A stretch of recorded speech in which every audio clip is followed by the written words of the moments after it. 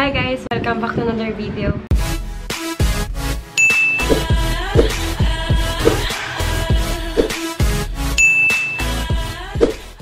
Today I'm gonna share with you guys some swatches of new foundation of Maybelline. And this is uh, yung Super Stay 24-Hour Full Coverage Foundation. Yes.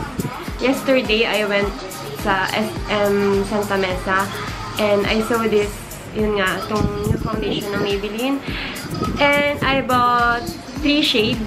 Uh, actually, um, they have, dun sa store na yon I think, uh, mga 6 shades or 7 shades ang available. Pero tatlo lang yung binili ko kasi I think itong tatlo lang to yung magagamit kong shade. So, if you want to see the swatches of these 3 shades of Maybelline, just keep on watching. Anyway, the price of this foundation is $4.99. Yan, $4.99 lang siya. So, mura lang siya kung tutuusin. Kasi, compare dun sa mga price ng MAC, yung mga high-end na brand, sobrang kaya nyo siyang bilhin. So, yun. Tapos, uh, kiniklaim niya na full coverage foundation siya, long-lasting wear, seamless matte finish, breathable and comfortable, fade and transfer resistant, and oil-free. Yun. Ayun yung kiniklaim niya na power niya. So, I think, uh, okay daw siya, sabi, kasi madami din ako nakikitang review. And, actually, gumawa ako ng review between yung L'Oreal Infallible Matte Finish at saka itong Maybelline Super Stay. Uh, gumawa ko ng review nilang dalawa kung sino yung mas okay. And, if you wanna see that video, ililink ko na lang sa description box yung link. So, if you want to watch it, you can watch it. So, let's start. Masyado na napapahaba yung sinasabi ko. So, I have three shades here. Uh, yung natural beige. Ito siya. Natural beige. At saka yung natural ivory. At saka the last one is yung warm nude. So, let's start swatching these shades. Uh, unahin ko na yung pinakamaputi. This is yung natural ivory. Uh, 112 yung number niya. So, swatch natin siya. So, ayan siya.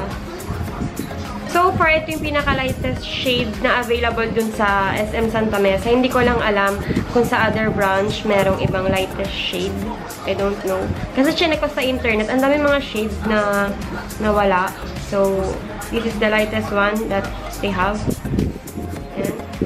The next one is Warm Nude. So, This is my first time na mag-swatch-watch ng foundation. So, uh, please forgive me kung medyo magulo. So, ito yung warm nude. Yan. Ito yung ano siya, warm color siya. Warm tone. Itong warm. Warm tone nga, yellow tone. So, yan. And then, the last one is yung natural beige. Ito. Swatch na din natin siya. Ito naman yung I think mas dark. Oo. So, parang ito yung pinaka-lightest. Lightest. Tapos yung isa yung parang nasa gitna lang siya. And then, this is yung hindi naman ito yung darkest shades na darkest shades. Hindi naman ito yung da darkest shade na meron sila doon. Pero, ito na lang yung kinuha ko kasi feeling ko mag-match din siya din sa skin tone ko. So, pwede ko din siyang gamitin. So, swatch ko siya here. Kita nyo ba, guys?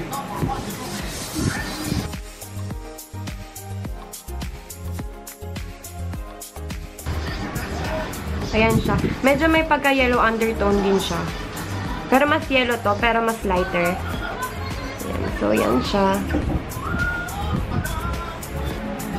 So, that's all for today, guys. Medyo maiksi lang tong video na to. So, yun nga. Sinwatch ko lang siya para ipakita sa inyo yung kung balak nyo bumili nung ito nga, kung balak nung itry yung Super Stay ng Maybelline, at least, itong tatlong shades na to, alam nyo na kung anong kulay niya on the skin.